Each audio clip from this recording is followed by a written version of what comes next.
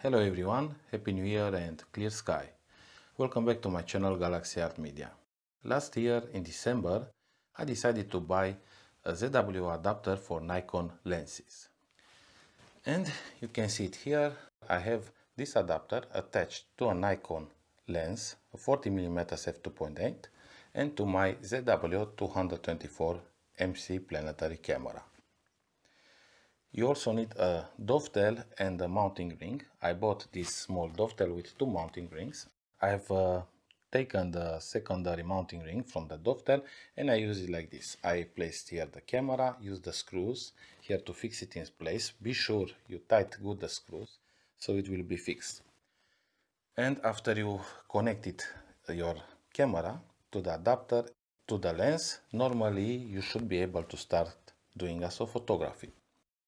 The problem is that this adapter is made for lenses that have an aperture ring.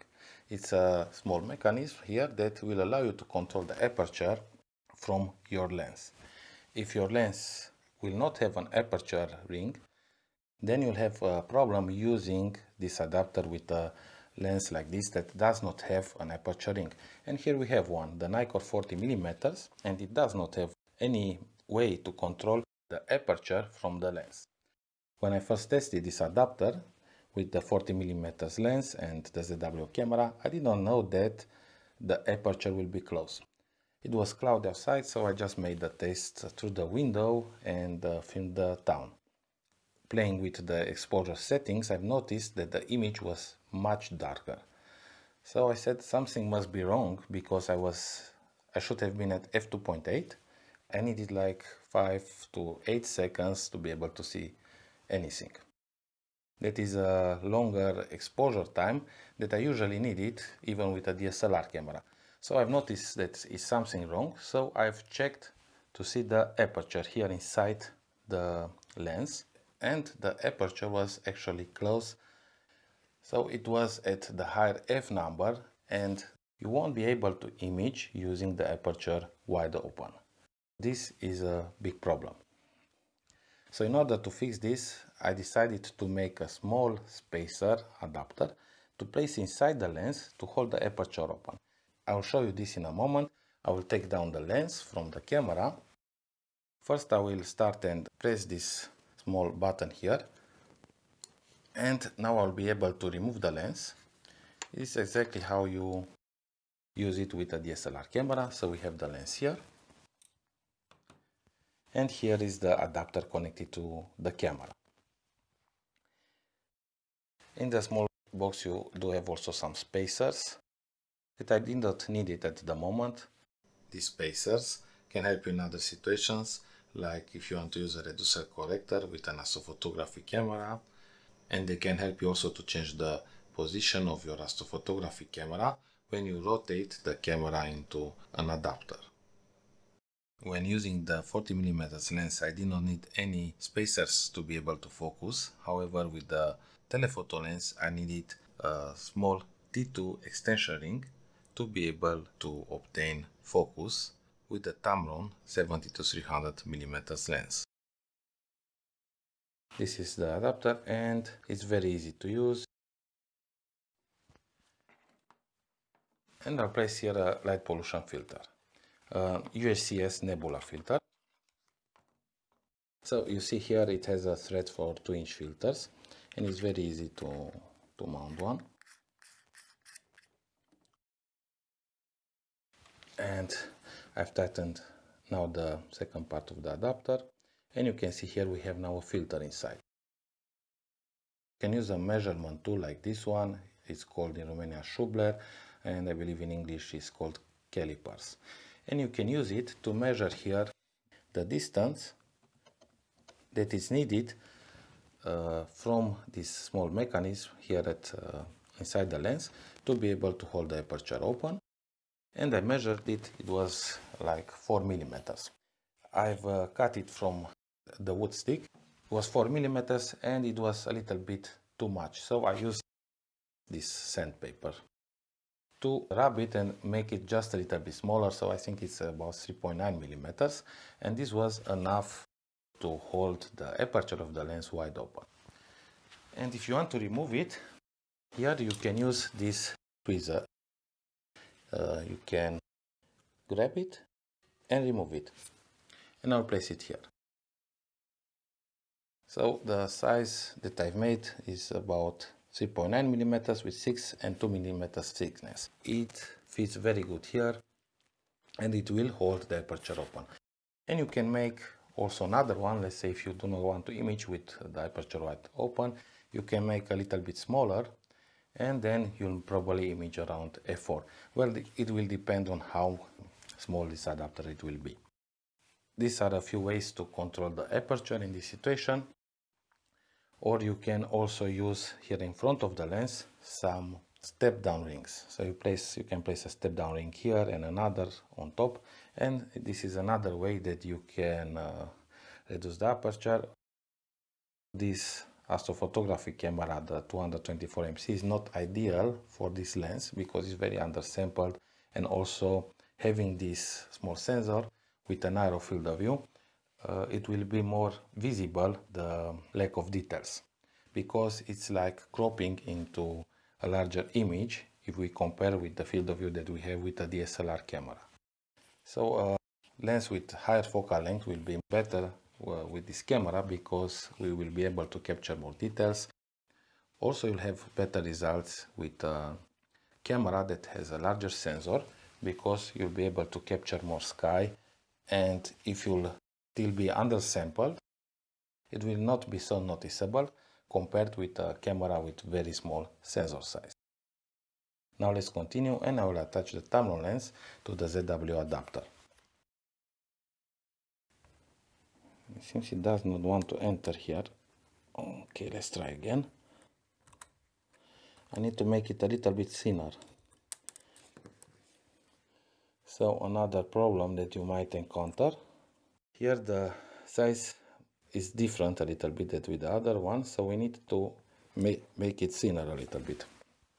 So we will use we'll use the sandpaper here and make it a little bit thinner.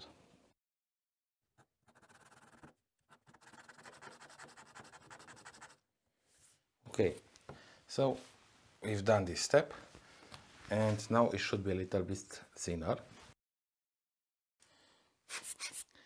make sure you clean this uh, small spacer after. Okay. And now we will try again.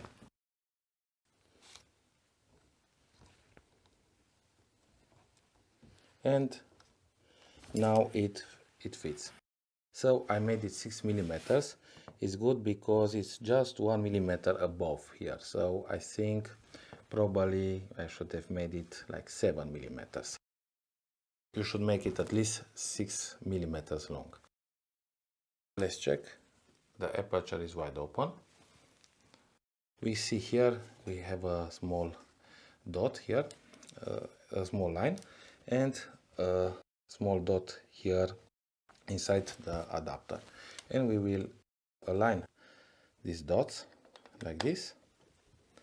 Okay, and now we will just turn until we hear a small sound like this.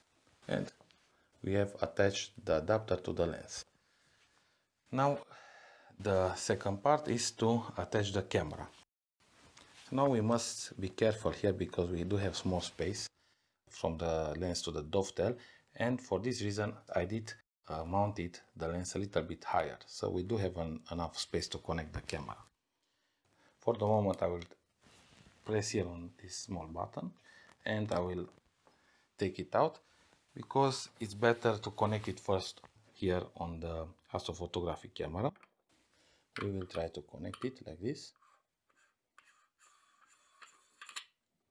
Okay I suggest you connect first the adapter to the astrophotography camera because it's easier without the lens and then the lens should not be hard to attach it directly to the adapter. We will align these two points that is here.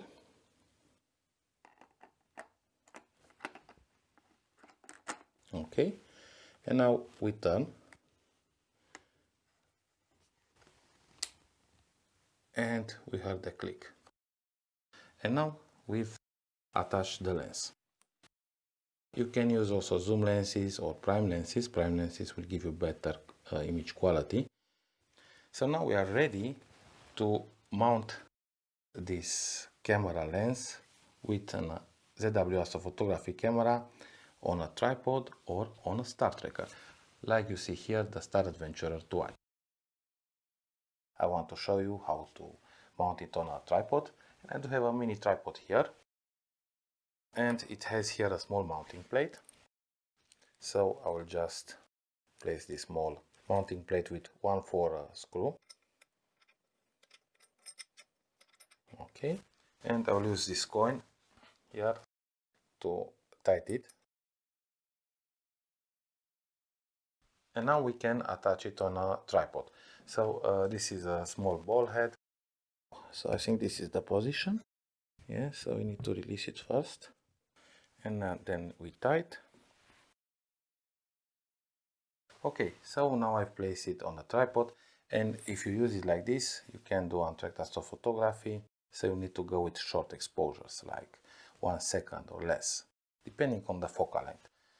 So at 70 millimeters, you might go a few seconds, three or four, and you can do also live stack using uh, software like SharpCap. So you'll connect the camera to the laptop and you'll be able to capture the sky while doing electronic assisted astronomy. You'll be able to see the nebula on your screen. I have here the Star Adventurer and I'll bring now the lens with my ZWO camera. I'll use this small hole and mount it here Then I will tighten it here on the declination bracket. So we've already mounted. Now we need to check balance and I will release here the declination bracket and see if it is balanced. So it is a little bit heavier on uh, still on the lens part but not too much. So I think you still can get good results with this setup. If you are using a heavier lens than uh, this one, then you need a longer dovetail bar to be able to balance properly in declination. Okay, so now we notice it's not perfect balance in declination, but I believe it's good enough to get some nice results with the Star Adventurer 2i. And now we need also to check in right ascension. And we will release the clutch and try to balance it. Okay, so we release the clutch and it's too heavy on the camera side. And we will move the counterweight a little bit. Okay. And you see now it's balanced. Thank you for watching. I do hope you find this video useful. If you did please subscribe if you didn't already. And i wish you a happy new year with clear sky joy and happiness